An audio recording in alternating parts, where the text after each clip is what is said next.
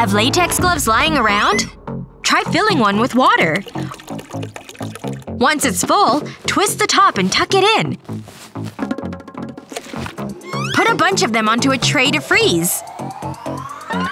Like candy eyeballs? Then fill her up. Time for the red fruit juice. And lemon lime soda. Then stick in the frozen. Delicious!